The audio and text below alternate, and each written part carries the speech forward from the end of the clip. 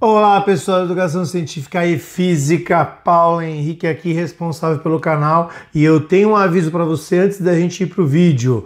Venha fazer parte de uma lista privilegiada para ter informações sobre os nossos projetos.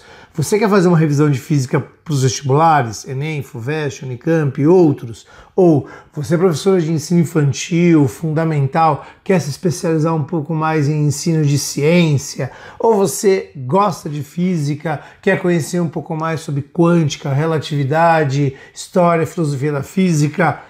Temos projetos para todos esses interesses. Manda uma mensagem para esse WhatsApp aí escrito Eu quero. Eu incluo você numa lista privilegiada e te dou informações antes de divulgar para todo mundo aí sobre esses projetos que começaremos agora em breve, provavelmente em agosto.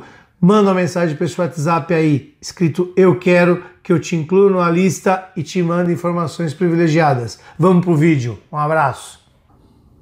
Até quando este país vai tratar educação, vai tratar ciência como gasto, relegado ao segundo plano, ao terceiro, ao quarto, sem valor nenhum?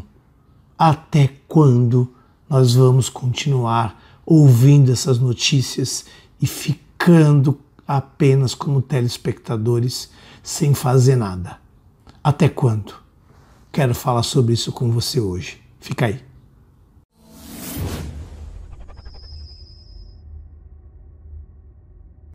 Educação científica e física com você, bem-vindo ao nosso canal. E no vídeo de hoje a gente vai falar sobre isso. O que estão fazendo com a ciência no Brasil? Querem matar a ciência no Brasil.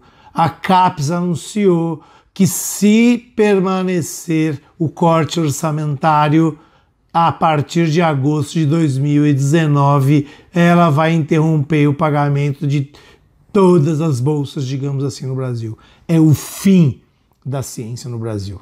Mas antes de te explicar isso melhor, eu queria lembrar você de deixar teu like aqui, compartilhar esse vídeo, ativar o sininho, né? Ficar de olho aqui no canal, no WhatsApp, no número de WhatsApp que sempre aparece aí, que é onde você vai conseguir informações sobre os nossos cursos, sobre as nossas atividades, os nossos projetos, para que você possa fazer parte deles. Né? Queria fazer uma menção aqui ao, canal Laura Game Art, que é um canal parceiro, o canal da minha filha. Ela colocou um vídeo lá da nossa viagem muito interessante, que ela mostra um pouquinho os bastidores de uma visita que nós fizemos à Unifei, Universidade Federal de Itajubá, que tem um centro de ensino de ciência muito interessante. Vou deixar o link aqui no canal para vocês darem uma olhada.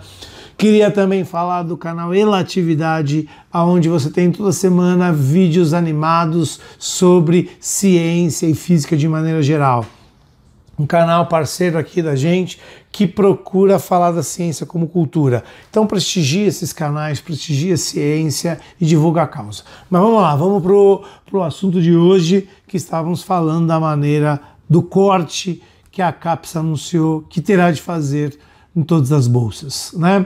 São 93 mil bolsas de pós-graduação que a partir de agosto de 2019, se permanecer o orçamento, o corte orçamentário que o governo está propondo vai cessar o pagamento, as bolsas serão interrompidas. Programas de mestrado, doutorado, de pesquisa, convênios serão interrompidos. Né? Além desses programas, você tem os programas da pesquisa básica, né? Programas de iniciação científica, programas de residência pedagógica, programas da universidade aberta, mestrados profissionais que visam uma formação continuada dos professores, tendo uma parceria com as universidades, serão parados. A ciência no Brasil vai parar se isso continuar.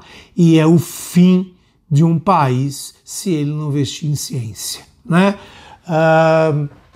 Fiquei muito preocupado, né? E, e uma das motivações que me trouxe para esse vídeo aqui, além, obviamente, do caso em si, né?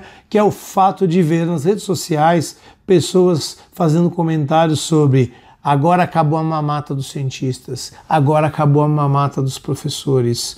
É, é, é assim estarrecedor você ver pessoas que ganham salários como nós, que fazem parte do povo como nós, que pagam é, impostos como nós, olhar para a ciência, para a educação, com esse olhar de desdém, com esse olhar de porcaria, com esse olhar de aproveitadores. Esse mesmo olhar deveria se voltar para os privilégios que nós temos aí. Né? Você tem, só para você ter uma ideia, um, o custo dessas bolsas dá em torno de 300 milhões. Só de auxílio moradia se gasta 900 milhões no Brasil. Quem será que é privilegiado aqui? O Congresso Nacional para funcionar precisa de 10 bilhões. Só para funcionar. A CAP são 3 bilhões. Né? Quem será que está sendo privilegiado nesse país? Se um país não olhar a ciência como investimento, se um país não olhar a educação como investimento, ele não vai crescer. As mesmas pessoas que estão tirando sarro disso são aquelas que depois vão falar que o Brasil é atrasado, são aquelas que vão falar que a nossa saúde é atrasada, são aquelas que vão falar que a nossa educação é atrasada, que a nossa internet é ruim. Por quê? Porque o investimento em ciência e educação reverte, reverte em benefícios que são incalculáveis para a sociedade. A ciência é um elemento transformador muito forte, que os países que conseguiram dar sua virada, conseguiram sair de uma situação de subdesenvolvimento e passar a uma situação de países desenvolvidos, como a Coreia, por exemplo. Eu falo isso no outro vídeo aqui no canal. Foram na contramão desta política que o governo está implementando, ou seja, investir em educação, investir em ciência, investiram pesado, né? E conseguiram reverter um quadro.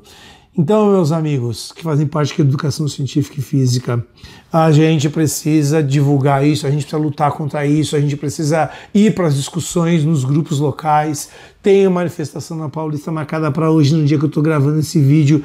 A gente precisa fazer alguma coisa Neste país, há pouco tempo atrás, se tocou panela e se fez um monte de manifestação onde se não se tinha muito claro o que exatamente estava se fazendo e hoje nada se faz.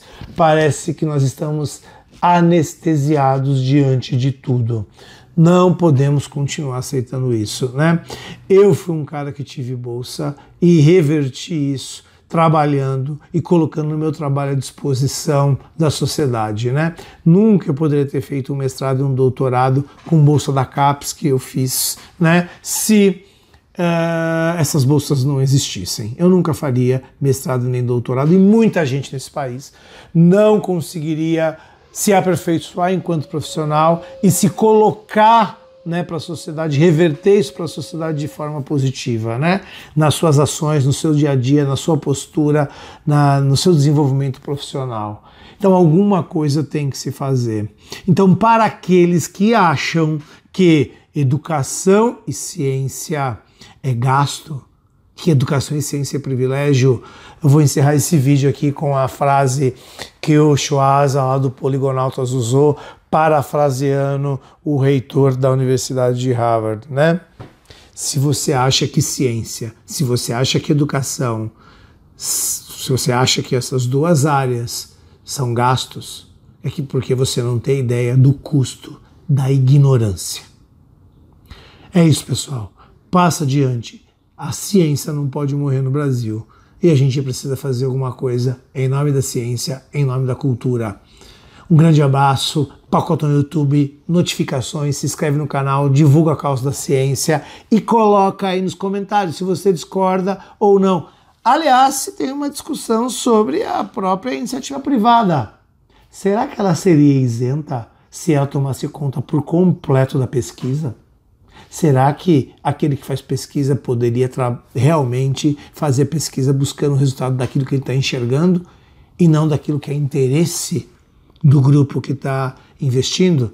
Não sou contrário ao investimento privado, mas ele não pode ser totalitário, sobretudo na ciência básica. Ok? Um grande abraço para vocês, até mais e tchau, tchau.